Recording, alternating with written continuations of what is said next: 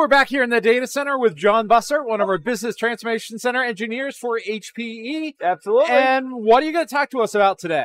Well, I want to talk about managing on-prem hardware with a cloud-like perspective, because certainly the cloud is an experience and not necessarily a destination. And HPE can actually bring that that experience to on-prem solutions.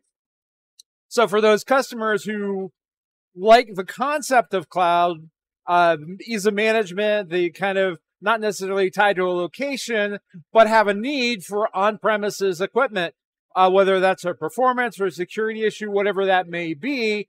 Now they can have that experience with on-premises equipment. Absolutely. And, and HP is really the only organization that can, brings this cloud experience across stacks. So they not only deal with the cost model, but they also deal with the day-to-day maintenance, you know, making wireless networks, creating volumes, updating servers, right, from with the cloud. So across server storage as well as networking, like I had mentioned, across costs too. So benefits of cloud as well as benefits on-prem. So uh, it sounded like you wanted to show us what that looks like. Let's go take a look. I'd love to. Come on. All right. All right, Jon. So uh, we were talking about in the data center, you're talking about GreenLake, and that's what you want to show us now. Yeah, this is GreenLake, um, the GreenLake platform. Um, and this is the basic tiles that people kind of look at. I'm going to kind of talk about what these tiles are. So there's a traditional model that people think of with GreenLake, and that's the cost model. Pay Mm-hmm. for what you utilize on a monthly basis type of thing. So in the case of storage, if you have 50 terabytes, but you only use 40 terabytes, right, you only pay for 40 terabytes on an ongoing basis.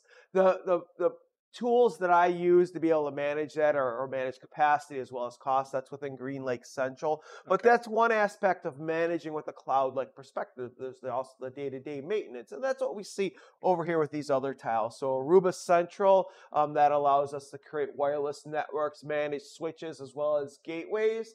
Um, the Data Services Cloud Console allows us to be able to go in and create volumes on-prem, and even now create backup strategies related around that. And compute ops management allows us to be able to manage on-prem ProLiant servers from in the cloud. You know, do things like firmware updates and things like this. And keep in mind, this could be a single site. These could be sites all across the globe.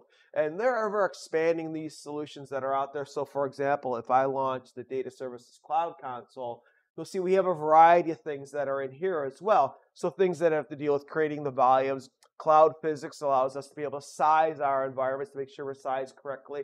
And backup and recovery allows us to create backup jobs that are from within the cloud. So this, these backup jobs are really resilient to ransomware and things like that. So you can leverage on-prem snapshots. Um, it'll deploy an on-prem repository if you want to. It'll even use create well, create cloud backups as well. And the cool thing about this is, you know, as you pull data out of the cloud, there's no egress fees on this as well. And a nice thing about this entire platform is this is a pick and choose type of solution, just like what you'd expect from a cloud. I don't have to. This isn't an all or nothing type of situation. This is So if if I want the let's say the the compute and storage, I don't necessarily have to go to that cloud payment model. Yep, absolutely. And I and I could make other choices for for networking. It's just that I have that control capability available if I want it. Absolutely. And even when I was showing you inside the data services cloud console with the backup and recovery, you could choose that or not. Because a lot of our customers have their own solutions they want to use. I'd argue ours is a little bit nicer, but these are the capabilities that you have that. Again, the cloud is an experience, it's not a destination. Now, with this, I mean, obviously, from the the, the GreenLake, from a payment standpoint, uh, that's a billing program. I understand that. Uh, what of the re- rest of these services do I get? What do I pay for? Do I, with certain products, get features, etc.? Yeah, with Aruba Central, um, when you buy uh, Aruba switches and access points, you can layer that on top of. Uh, the Data Services Cloud Console kind of comes as a subscription with with your Alletra arrays and stuff and those type of solutions. Compute Ops Management is something you can layer onto the solution. But even with the Data Services Cloud Console, again, you're going to get that with an Alletra array. You're going to need to maintain that. But you could add on the backup and recovery service if you wanted to, um, you know, to increase your your availability or create that resilient environment. So, if that's my management console, like you said for for Alletra, uh, then I have tho- those pieces, and then if I want additional functionality, those are paid services that aren't part of the standard maintenance. Yeah, and this isn't the end of this as well. I come in here all the time. They're adding new features and functionality. It's not like a piece of software you install on your PC, right? It, this is from the cloud, you know. And I like I come in here and I see new new capabilities. Um, you know, I'm doing beta testing on some some things that are kind of coming out. Um, but again, you know, this isn't the way this is going to to kind of the experience is going to be. They're going to add on more to the experience as time goes by. And obviously, you're a full administrator for this site for the Business Transformation Center, HPE hardware in there. Um, I'm assuming there's control over what people have access to. So if I'm in a larger organization, I might give uh, an administrator access to a certain site. Other people may see compute and uh, you know across multiple sites. Uh, same same with storage. I'm I'm assuming I've got some level of access control. Absolutely, any type of enterprise management software capabilities or solutions need to have that capability. But in addition, what do we expect out of the cloud? Tagging. So you have the ability to be able to tag certain things with different different uh, words or keywords or things like that.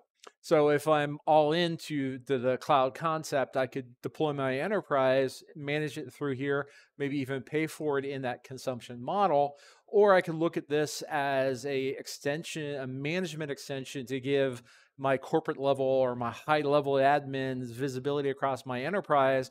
But still, if I really wanted to think about running those sites more or less, you know, in the traditional data center model. Absolutely. Absolutely. And that's the value of this is is I think people are starting to realize what works in the cloud and what doesn't work in the cloud. And you brought up a few things, but the realistic nature of it is is everybody has different reasons why they want to keep something on prem, why something in the cloud. And this brings the best of both worlds. And this really puts them on a roadmap roadmap that if they want to move fully cloud later or move between sites, they've got a lot more flexibility now once they're onto the platform. I would say we live in a hybrid IT environment. You know, when cloud first came out, everybody's like, everything's going to go to the cloud. But we realize that isn't happening today, and, and we are truly in a hybrid IT environment. And this allows us to have that type of environment holistically across our infrastructure. Well, it does sound like a real game changer, Jon. Thank you very much for your time today. Absolutely.